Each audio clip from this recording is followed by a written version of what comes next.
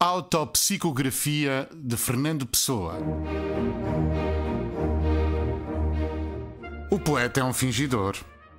Finge tão completamente que chega a fingir que é dor a dor que deveras sente.